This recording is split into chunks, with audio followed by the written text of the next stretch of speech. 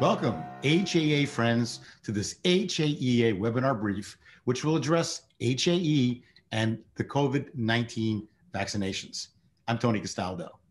We're honored to have expert HAE physician, scientist, and researcher, Dr. Marc Riedl, with us today. Dr. Riedl is a professor of medicine at the University of California at San Diego. I could spend the next 10 minutes listing Dr. Riedl's extensive qualifications, but in the interest of time, I'll simply note that he is a globally recognized key HAE opinion leader and has authored a huge list of HAE related peer reviewed medical journal articles. Now, Dr. Riedl also serves as clinical director of the US HAEA Angioedema Center at the University of California at San Diego. Welcome, Dr. Riedl, and thanks for joining us today. Thanks, Tony. Happy to join you today. Now, Dr. Riedl, many in our community have asked questions about whether having HAE would exclude taking one of the COVID 19 vaccines. Now, excluding other health conditions for a moment and focusing only on HAE, is there anything in your expert scientific opinion and medical opinion known right now regarding the biology of HAE that would prevent a person with the condition from getting vaccinated? Well, Tony, it's a very important question, obviously, given the state of the pandemic and now the, the emergence of a couple of vaccines in the United States against COVID 19. Uh, and the, the, I'm glad to report that as, as of right now, there's no reason to think that these vaccines should, should specifically cause any problems related to hereditary angioedema.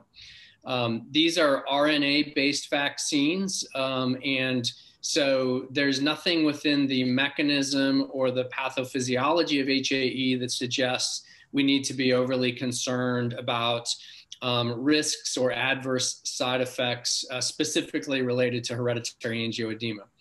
Now, I would say we, we all know with HAE that we have to be prepared, right? So um, I, I, always want to reiterate to people, you know, know your management plan, know what you're going to do if you suffer any HAE symptoms.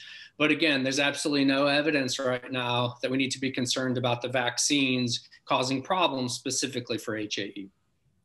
I'm just kind of curious, Dr. Riedl, have you had any patients call and, and ask uh, your opinion? And, you know, what, what, what would be kind of the, the way you would approach it and kind of what, what words would you use to, uh, uh, you know, to co- consult specifically with, uh, with a patient who's on the phone with you?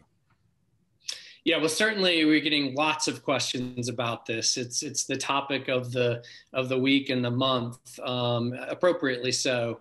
Uh, and so I, I, have fielded this question a number of times in my patients uh, that I that I uh, take care of with hereditary angioedema.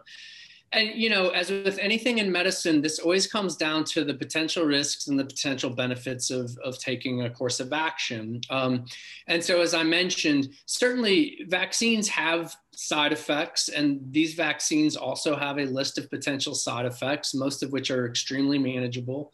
Um, but as I mentioned, when we're talking about HAE, there's nothing specifically that we're more concerned about as a side effect with the vaccines. Uh, and so if we look at, you know, the, the potential risks, which again, we can get into that a, a bit more in a moment, but the potential benefits, which are of course enormous when we have thousands of people dying from COVID across the country every day, I think generally my advice is that uh, the the benefits here outweigh the risks in terms of getting vaccinated. Um, now, of course, every person's different, and it's important to talk with your individual doctors and specialists about your situation because there may be unique issues. But generally speaking, that's that's my viewpoint: is that the potential benefits far outweigh any potential risks uh, at, the at the current time. Well, that's great to know. So we can kind of put HAE aside as in and of itself being a risk factor. But you know, just like the general population out there, some of us who have HAE have other health conditions.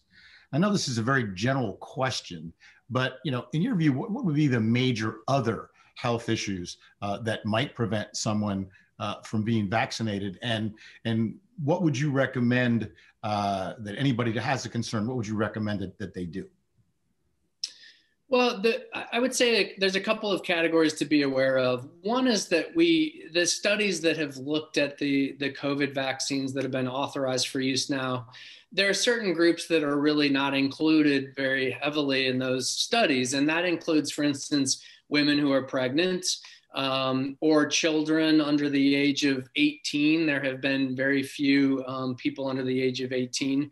So we, we don't know for certain about the safety in those groups. And again, those are groups that I think it's really important to talk with your personal specialists and decide, you know, about the risks and the benefits, given that we don't have as much information.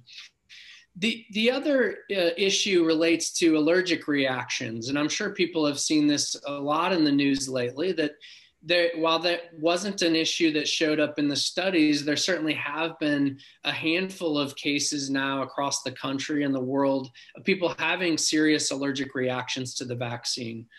And so this is something that's, uh, as an allergist, has also come across our desk quite frequently in the last week or two. Should people with allergies, you know, be getting the vaccine? And at the moment, the, the CDC has recommended that really the only reason to take precautions with regard to that is if a person has had either known to be allergic to something in the vaccine, that would be a contraindication.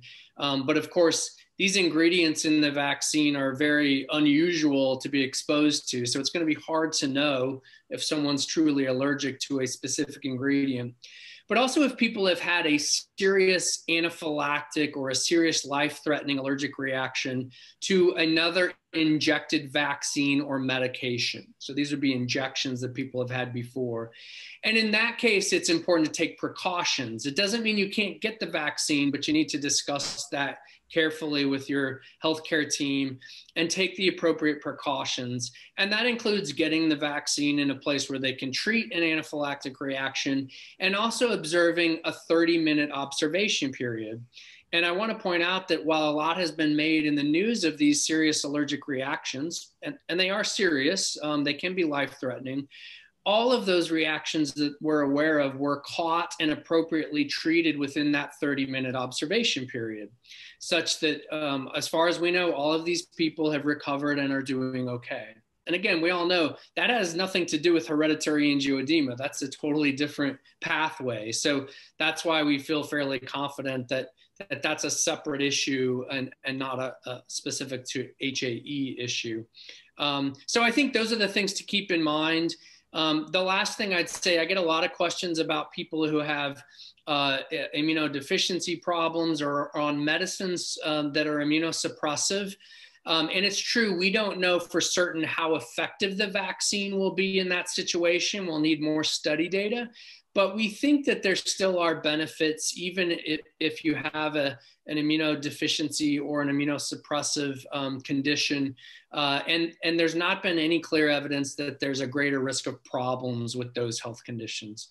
So again, back to the old advice, talk to your own doctors, make sure you, they understand your, health conditions and ask the right questions. Um, but generally speaking, outside of this issue of allergic reactions in very rare cases, um, I think the benefits of immunization are, are strongly outweighing the risks. And again, we have to keep it in perspective. We're losing thousands of Americans to COVID daily right now. And this vaccine is one of our few chances to, to fight back and get out of the pandemic. Well, great, Dr. Riedl. Thank you so much for your expertise. Uh, I think you've given us a lot of comfort in terms of uh, now we really know that there's no basis for an HAE patient just because of that particular condition not to take the COVID 19 uh, vaccine. And as an allergist, you've been able to give us a, I think, a wonderful overview, you know, of the other types of issues that could be involved, and your advices are also well taken with regard to anybody with concerns consulting with their physicians. So, Dr. Riedl, thank you so much for your time today. Thank you so much for your expertise, and we'll see you all next time on the next HAEA webinar brief.